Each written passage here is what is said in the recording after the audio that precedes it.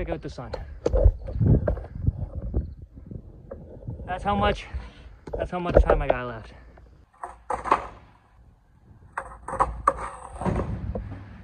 Look how gorgeous this is.